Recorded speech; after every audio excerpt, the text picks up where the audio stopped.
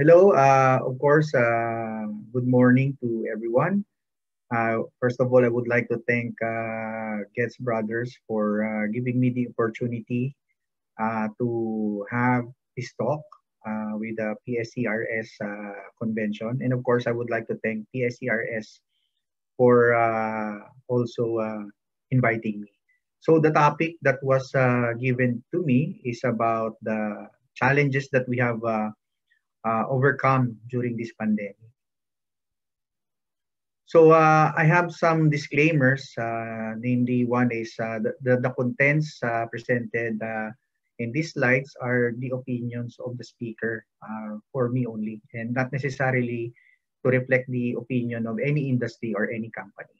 And my slides contents are for scientific discussions only and are not uh, recommended for off-label recommendations. So some of them are, of course, uh, evidence-based practice uh, trends, and uh, they might be also useful on other practitioners as well. So it's good to share those. And if there are products mentioned on my slides, it is for the purpose of the topic discussions. My objectives include, of course, to discuss the different challenges experienced uh, in providing ostomy care, uh, during this time of the pandemic. And of course, to discuss the different phases in uh, ostomy care uh, that we have done uh, before the pandemic and what is the difference that has happened and the changes that uh, we have uh, done in our protocol when the pandemic came. And of course, to share the present situation in our facility and what to expect in the future in terms of ostomy care. So uh, we all know that now uh, we are experiencing and we are still uh, in the pandemic. And it was around uh, December 2019 when we first heard of it in the news. No? So uh, initially, our response was uh, parang hindi naman siya darating dito sa Pilipinas. It was in China. So everything is going fine naman in our country, in our situation, in our practice. Till again came February um, 2020. And that's the time that we had our first uh, case of uh, COVID-19 here at the medical city. And that's where all of the um, uh, problems started because it's new. Uh, no one has been in the pandemic before. So uh, it's really difficult uh, situation for everyone, especially how are we going to handle the patients? Uh, how are we going to segregate uh, COVID patients to non-COVID patients? How are we going to identify patients that with COVID or with suspect of COVID? So it's really difficult. And uh, the same time, uh, because of the lockdown, the quarantine, so there have been also difficulties when it comes to the transportation. So definitely, uh, the census declined uh, especially for our outpatient visits, outpatient clinics. Uh, the census uh, rise when it comes to the uh, patients with COVID-19. So the ICU uh, has been full, even regular wards has been full with COVID patients. And um, eventually, before, we conduct programs for patients who has ostomy. And this also involve our patients and of course our other healthcare provider. So we provide day forums, training programs. This was before. And uh, we can easily connect and bond with our patients and to their families, which is, we think, the most effective way in taking care of patients with uh, ostomy because we know that uh, the, the changing, uh, for me, uh, and also in our practice here, uh, for us, the changing of the bags is just, of course, secondary. We the primary uh, attention that we give is the psychological aspect, and of course, the proper teaching to the patient and the family. Because the success when it comes to treating uh, ostomy patients comes when they tend to be more independent in taking care of themselves. Now, we have support groups. And these support groups of course we know uh, in the philippines uh, we have the international uh, the colostomy friends ostomy philippines which i think uh, mr rolando lora is very uh, active. He is uh, based in nkti they have an office there.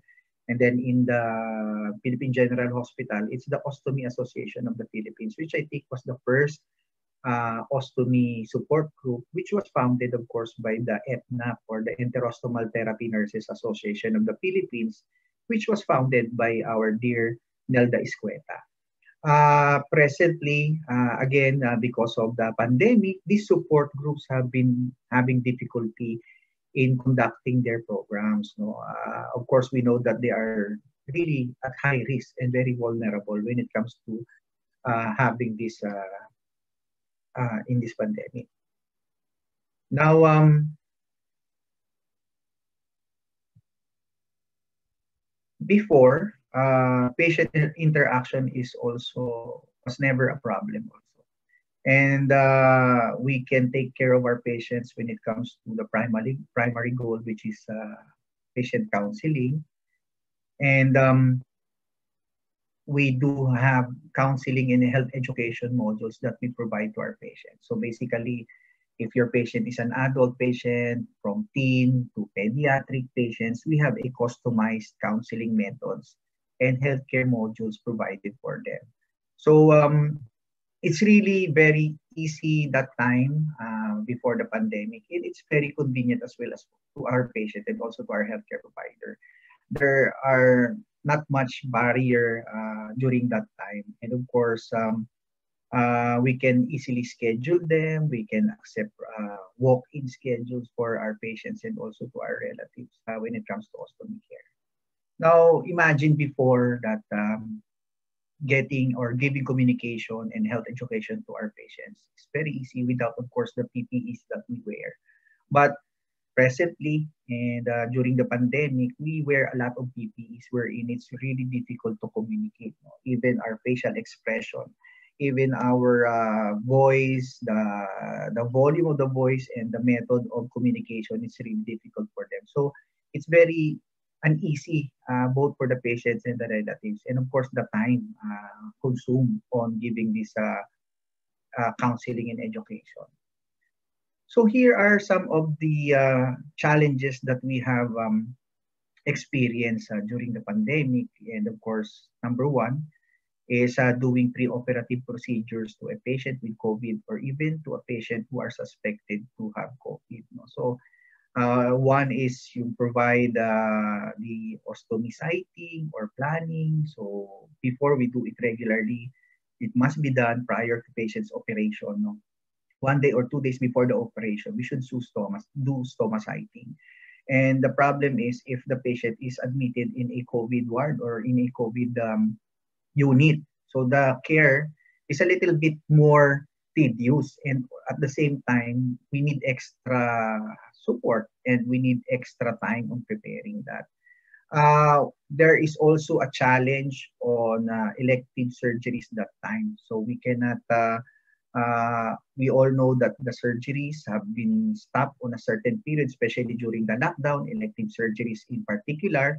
So in cases of um, problems and complications of our patients who have stomas, uh, there have been also difficulties. Uh, challenge on how to conduct assessment and treatment to patients with COVID is also difficult uh, during the pandemic uh, we cannot just go to a COVID area to assess and treat a patients with uh, pressure injury or of course patients who has a colostomy. And uh, it took a while uh, and some uh, we managed to coordinate and collaborate with the other departments on how are we going to to continue our treatment. And later on, I will discuss that on my next slides. Number three is, of course, the shortage in supplies and other equipments needed for care. It's, it's one of the main, main problem that we have. Uh, one is the logistics. Number two is the delivery. Uh, number and then the next thing is, of course, there is no really a um, uh, supplies delivered. Uh, it's really hard to to get supplies uh, during the pandemic uh, because of the lockdown. So because of the transportation at the same time. So um, because of the supplies scarcity, most of the time we tend to uh, get uh, improvised appliance. Uh, we tend to uh, do things that might help in extending the adhesiveness of the supply of the appliance and the, and the uh, ostomy products so that we can um, uh, provide, provide care to our patients. Uh, number four is the shortage in manpower. Although in our department, uh, we don't have any problems with regards to manpower because we have a dedicated ostomy nurse. But in other areas, no, and, and, and we are blessed because uh, no one got infected on our department. Unlike in other departments, especially during the first few months of the pandemic, uh, we got a lot of healthcare providers and healthcare workers who are infected with the virus. So basically, they are quarantined, and some nurses have been reassigned or redeployed to that department who needs extra manpower. And uh, five, uh, of course, face-to-face consultation is no longer applicable uh, during the, the time of the lockdown. And until now, uh, we are limiting face-to-face interaction. So it's very difficult for other patients who tend to, to, to prefer face-to-face uh, interaction and counseling. Number six, again, is of course the transportation. So patients cannot come to the hospital that time.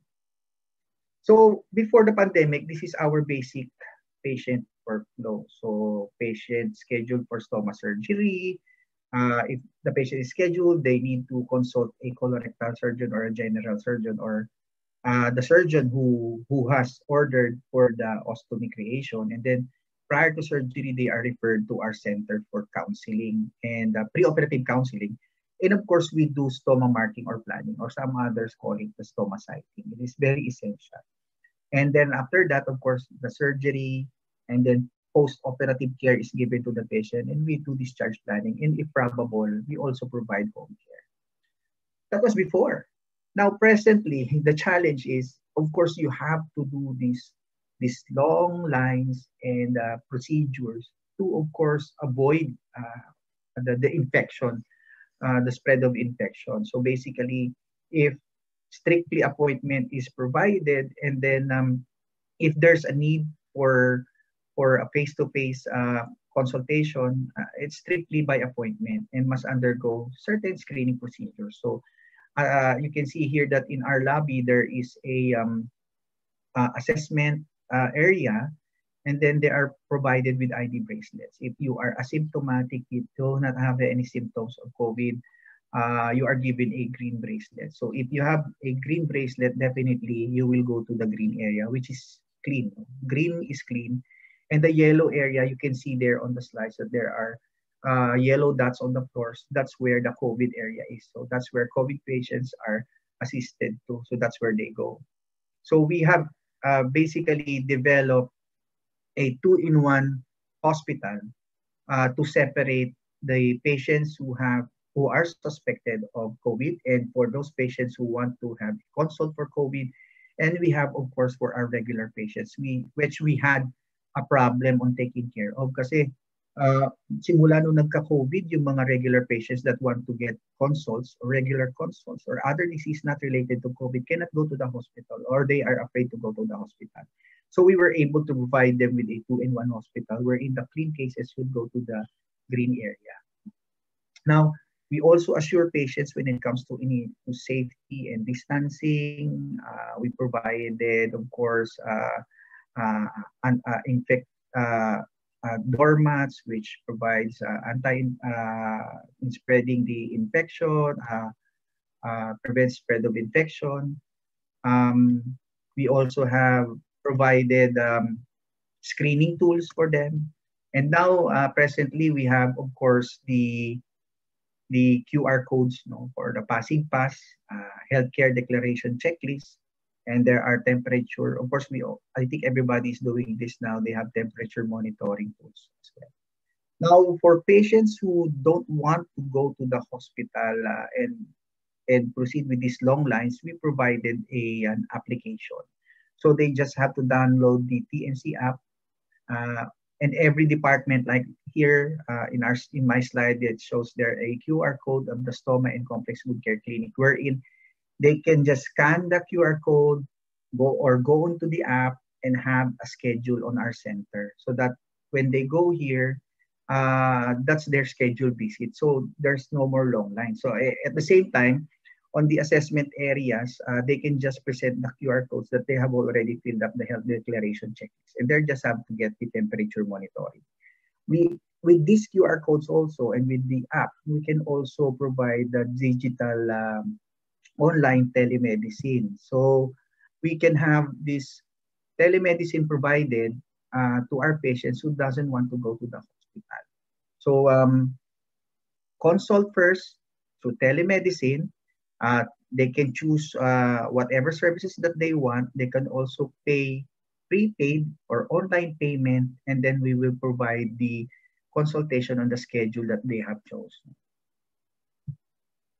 So, um, of course, counseling for our ostomy patients is very important because uh, there is a law, uh, International Ostomy Association. There's a Charter of Rights wherein all ostomies, patients who will undergo ostomy uh, creation, uh, must be provided with a preoperative counseling. It is their right. And we have data that shows that by giving preoperative counseling to patients who will undergo stoma surgery, it lessens the anxiety, it lessens the depression. At the same time, we provide a good result of taking care of the patient and not only of the patient but also their family, being support group. Because most of the time, if they are not aware of the situation that they're going to face, no, uh, the the friction between the family and the patient is is very common na minsan yung kamag-anak pa yung nandidiri agad doon sa sa pasyente nila. And uh, we should uh, I think the main problem there is yung education because they are not aware of what's going to happen. Some patients who have who will undergo stoma surgery thinks that their stoma will just stay for a week, for just uh, a month. So the depression came when they they they learned uh, that their stoma will stay for them forever and it's because they are not aware of things. So counseling is very important. And I guess uh, the PSCRS and most of the colorectal surgeons are are uh, promoting this this practice now, na yung counseling natin for our patients. And patients who are living with a colostomy, uh, basically, we should consider, when, when counseling, we should consider these important things. Yung work nila, social life, clothing, they, can they take shower or they can bathe, exercise and sports, travel, and even marital sexual activity, which is very common and important for a regular people. And we should treat them as a regular person pa rin, even if they have a stoma. Nothing is wrong with them. And it is not the end of the world when you have a stoma. It's a beginning of a new chapter of their life. The stoma is there to help them and to aid them in their present disease or sickness and not to give them additional burden. And we should always focus, no? It is very important na lagi namin sinasabi, we should always focus on the quality of life of the patient who will have a stoma. So, cases in ostomy care, of course, it's important that we have preoperative counseling, post-operative uh, post-operative care, continuity of care. So, preoperative uh, phase includes, of course, yung ostomy marking or yung stoma siting, preoperative counseling, care planning, discharge planning.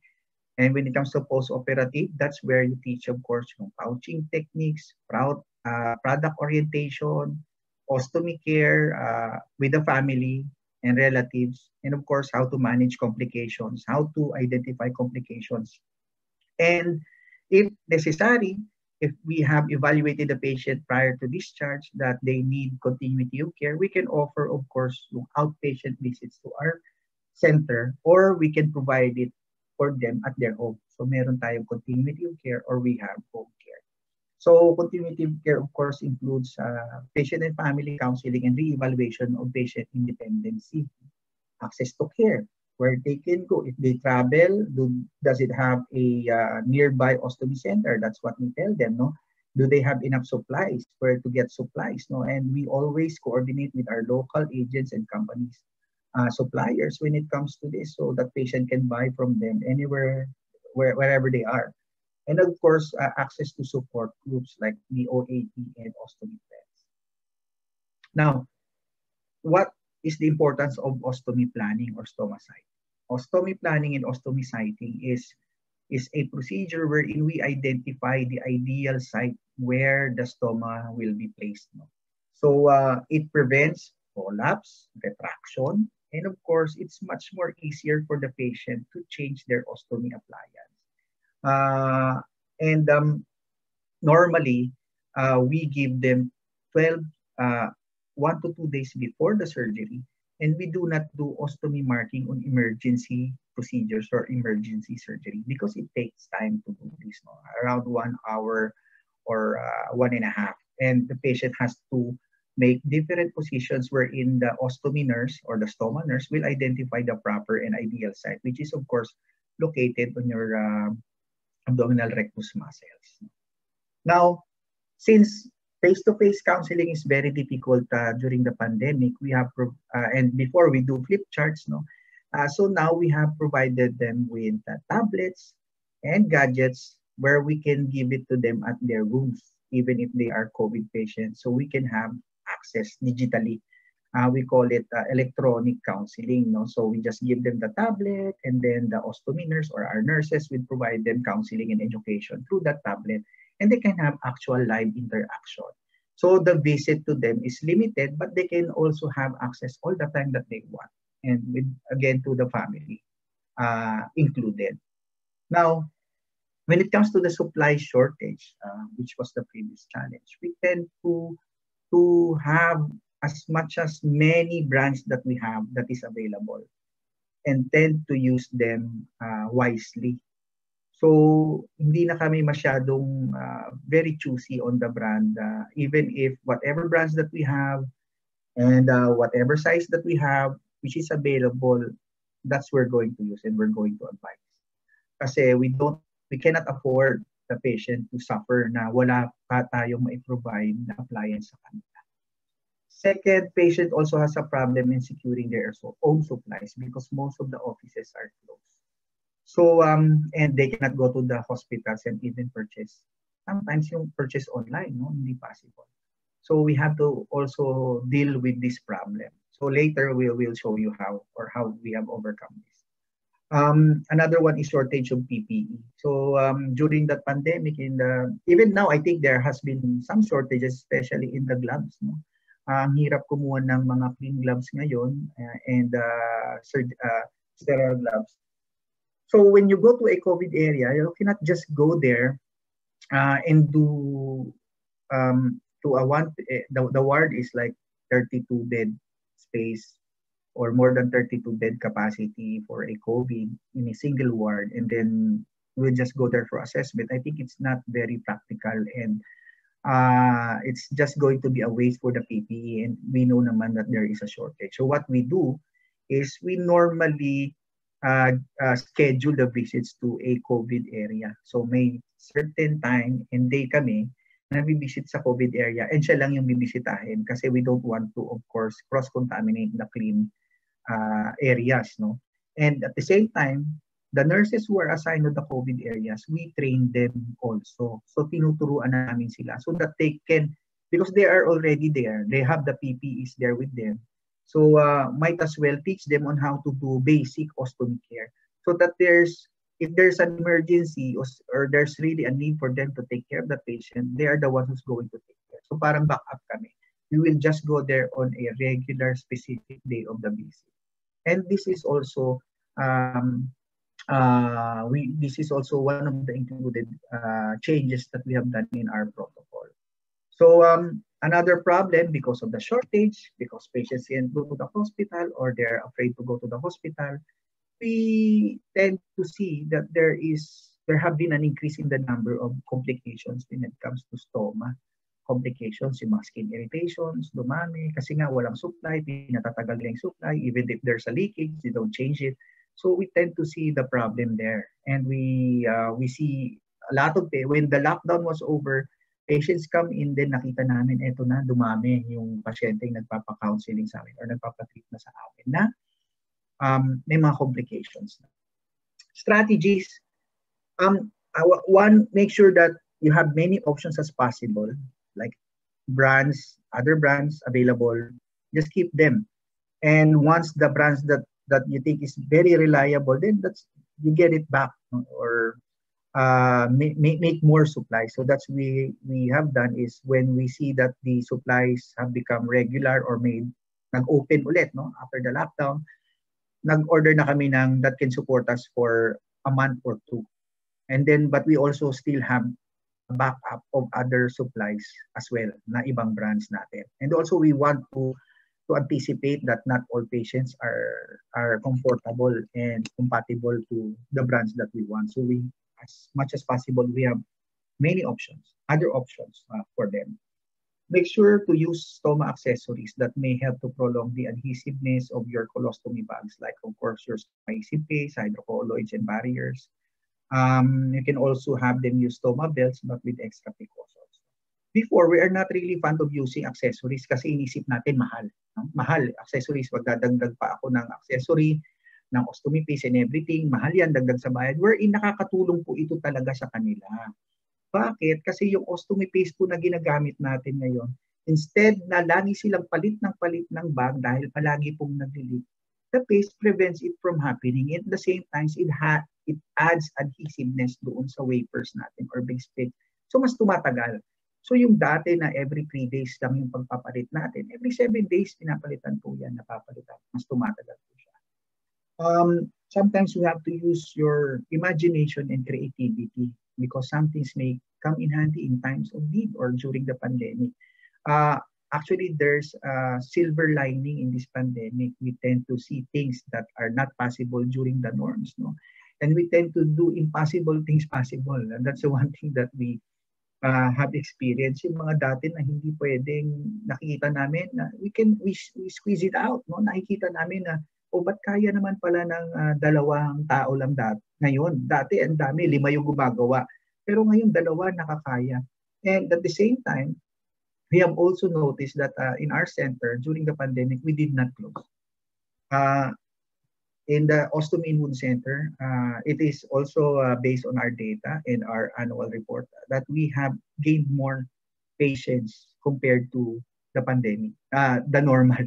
So, nung nag-pandemic, hindi kami nag-close. Mas madami yung pasyente pumunta sa amin and we tend to also serve patients from other hospitals na dito sa amin pumupunta because they said close yung centers na pinupuntahan nila dati or wala silang doctor sa mapuntahan. So um, we have received a lot of uh, walk-in patients during the time and even patients from other institutions as well. So everyone is welcome uh, during the time of pandemic and I think kahit every time we, we must help each other and set aside our differences. So um, next, when you change appliances, there are challenges uh, when it comes to transportation and hospital visits. It is wise to use appliance that can hold much more longer than the usual. So kung yung dati, for example, mga dressings na ginagamit natin, saglit lang, gumamit ka ng high absorbent dressing, so mas matagal. So hindi nila kailangan palagi pumalik uh, frequently dun sa hospital uh, health education on how to reinforce or change dressing at home is very important. Turuan natin yung kamag-anak nila. Turuan natin yung relative nila para pag uwi nila, they know how to change. They know how to dress. And uh, this saves them time on going to the hospital kasi nga we want them to lessen the visits dun sa hospital. And of course, to increase their level of independency in taking care of themselves and also to their patients and relatives. Use appliances that are widely available and patients can have easily access to them. Uh, problem that we encountered, if you prescribe a, uh, an appliance that is not available uh, within the local markets, hindi nila na mabibili. Nahirapan na sila sa care. Ititigil nila yung pag-alaga sa sarili nila dahil wala silang mabili ng pinrescribe. Wherein if you tell them, all ostomy bags, pag wala po kayong mabili ma'am, meron tong available sa ganitong lugar. Doon po kayo pumunta. Stomahisib paste, just as uh, like said earlier, no, sometimes we we don't really uh, know how to handle them properly. Kasi akala natin paste lang yan, parang ilalagay, pandikit. And then later on, may gloves tayo. It becomes so messy and, uh, and troublesome.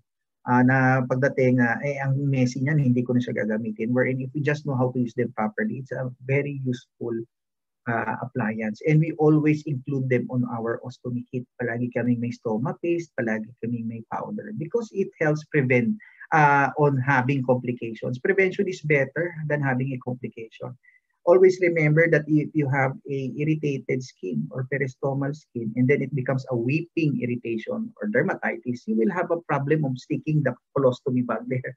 And the principle is kailangan, lagi may colostomy bag. Kasi pag walang colostomy bag, hindi mo siya open, lumalabas yung effluent or yung dumi, yung tinatawag namin. We call that effluent tumatama siya peristomal skin area. Yun yung nagkakaroon, nagiging cause ng irritations sa pasyente natin. So, as much as possible, prevent that from happening. So, ano natin siya, uh, iwasan natin. So, um, it is stoma friendly. Uh, basically, you have to wet your fingers na magka-come in contact with the paste ng water. And don't worry, baka sabihin nyo hindi didikit. No, it will dry. And then when it dries up, it will become very uh, helpful dun sa base plate natin. So Stomahesive paste is very useful also in filling the gaps and sa curved abdomen and also on your skin pores. Uh, one also uh, uh, dressing and appliance that we are really fond of using and we always make sure that we have this is yung duoderm thin. It's very handy in minor skin irritation, uh, partial thickness loss of your uh, patient's skin and also in taking care of patients, uh, pediatric patients with stoma. We all know na mahirap maghanap ng uh, pediatric ostomy bags, but we use them, we use duoderm thin and your regular common uh, wee bag or urine collection bag for babies as a alternative.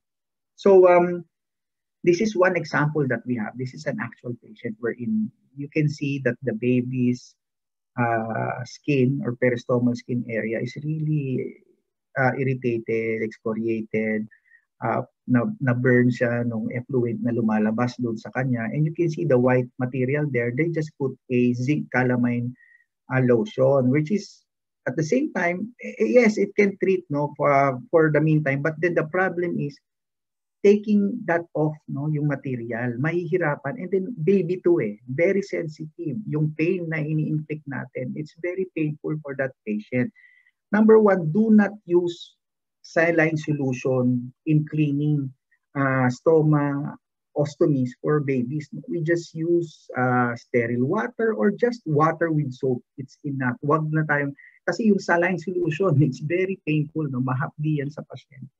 Remove all this whitish material from the baby's abdomen or sa skin so that you can have a good adhesive doon sa inyong ilalagay na dressing. And then after that, we put powder, a lot of powder on that area. Powder is stoma friendly. Don't be afraid if it comes in contact with your stomach.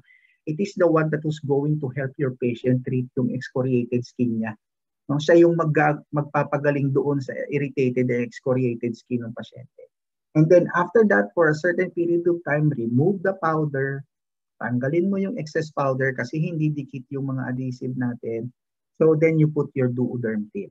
And then after we have applied the duodermtine on your patient's skin, we trap some powder there. It will help your patient heal yung irritations na in a certain period of time. And then we apply yung inyong improvised bag or any bag available, doon namin siya didikit sa duoderm.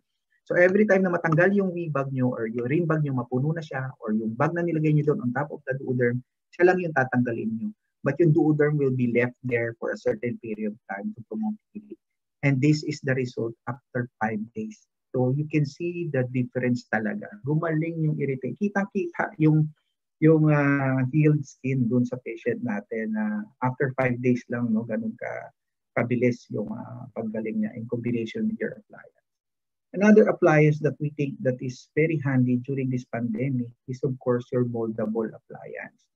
So Convatec has this moldable technology. They have this wafer that doesn't need to be cut Uh, you just have to shape it uh, in accordance with the shape of the ileostomy or the colostomy.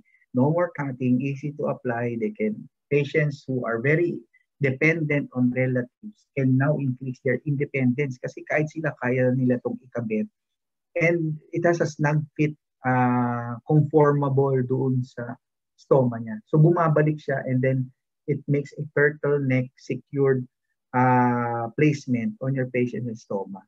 But uh, always remember that you should use this for patients who has a protruding stomach para may kakapitan yung ating moldable technology. Okay? And um, uh, during this time of uh, when they when they travel or we don't when they don't have someone with them at home, uh, naipit sila because of the quarantine. And before inaasa nila yung pagkupit sa relatives nila or their household, they can do this by themselves. Easier and uh, much more faster. Another strategy that we have been developing and we have developed during this pandemic is of course the continuity of care. since most of the people are afraid to travel and go to the hospital, we are the ones who are extending our care to their homes. So we provide continuity care, medical service, uh, uh, laboratory on wheels, wounds on wheels, and also any sorts of services that the hospital can do at home is we offer. We also can send the consultants per request, uh, but these are scheduled visits as well. So we we are the one who's going to reach out, uh, and we have to adjust during this pandemic for our patients. Now, uh, I think this would be my last slides, and uh, we know that uh, it's time to adapt on the new normal. And uh, like it was said here, that things may never go back to the normal. You may need to create a new normal, and that's okay, and that will be okay. And I guess for us now here, uh, we are adapting. All of us, I think, is adapting. Uh, and with the coming of the vaccines, I guess it will be much more easier for us again to to work and move uh, in taking care of, of our patients. And I guess that would be all. And uh, thank you very much uh, for your attention.